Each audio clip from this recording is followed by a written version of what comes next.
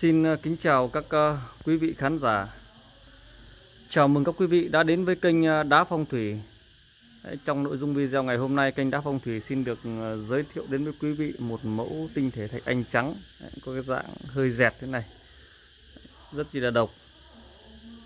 Quay một vòng chi tiết cho quý vị cùng xem. Này, nó có hai đầu luôn, đầu dưới này. Mọi người sẽ nhìn đầu dưới của viên này cái viên này nó khá đẹp và độc. Hình nó dẹt. Đá nguyên bản, nguyên zin tự nhiên, quý vị nhé. Hoàn toàn là tự nhiên, không hề cắt rũa, không hề cắt gọt, không hề mài rũa gì cả. Một viên đá nguyên bản tự nhiên.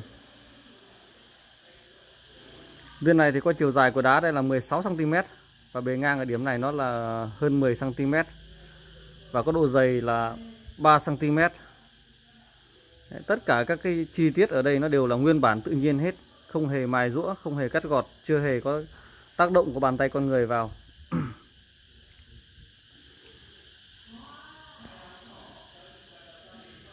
Viên này thì có khối lượng của đá nặng là 500g và hiện cái mẫu này tôi đang à, giao lưu cùng với quý vị khán giả với giá là 250.000 đồng nếu quý vị nào có nhu cầu muốn sở hữu, hãy liên hệ trực tiếp với tôi. Thông qua số điện thoại 0354 099 099 cam kết là hàng thạch anh chuẩn, thiên nhiên, tự nhiên.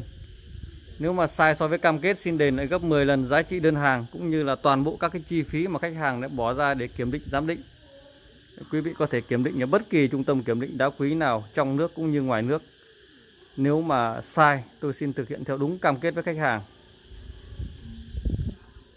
Quý vị có nhu cầu mua hàng thì hãy liên hệ trực tiếp với tôi theo số điện thoại 0354 099 099. Chỉ việc để lại địa chỉ nhận hàng, tôi sẽ gửi hàng đến tận nhà cho quý vị. Khách hàng chuyển khoản trước sẽ được ưu tiên bao ship trong phạm vi toàn quốc. Còn nếu quý vị không có điều kiện để chuyển khoản thì tôi sẽ nhờ bên giao hàng thu hộ. Tuy nhiên thì khi đó quý vị chịu giúp phí ship cho tôi Quý vị nào còn chưa đăng ký kênh thì hãy bấm đăng ký để thường xuyên theo dõi được các cái video mới nhất mà hàng ngày kênh Đá Phong Thủy sẽ gửi đến cho các quý vị. Cảm ơn mọi người đã theo dõi video. Xin kính chào và xin hẹn gặp lại ở những video tiếp theo.